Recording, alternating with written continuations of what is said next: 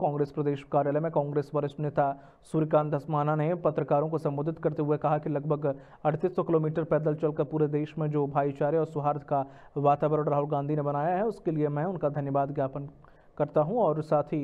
तीस तारीख जब भारत जोड़ो यात्रा का समापन श्रीनगर में किया जाएगा, तब उत्तराखंड के पूरे जिला मुख्यालय में राष्ट्रध्वज फहराया जाएगा चूँकि उसी दिन गांधी जी के शहादत का दिवस है। इसलिए प्रदेश कार्यालय से गांधी पार्क तक मानव श्रृंखला बनाकर गांधी जी को श्रद्धांजलि अर्पित की और उनके रास्ते पर चलने का संकल्प लिया जाएगा। आपको बता दें कि कांग्रेस की भारत जोड़ो यात्रा कन्याकुमारी से शुरू हुई और 30 जनवरी 2023 में श्रीनगर में खत्म हो गई देहरादून से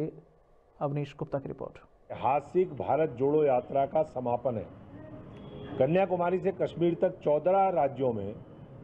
लगभग 3,800 किलोमीटर पैदल चल के राहुल गांधी जी ने पूरे देश के अंदर जो सकारात्मक वातावरण मोहब्बत का वातावरण आपसी सौहार्द का वातावरण बनाया उसके लिए हम उनका आभार व्यक्त करते हैं। तीस तारीख को जब वो समापन करेंगे पूरे उत्तराखंड के जिला मुख्यालयों में हम ध्वजारोहण करेंगे। और क्योंकि गांधी जी की शहादत का दिवस भी है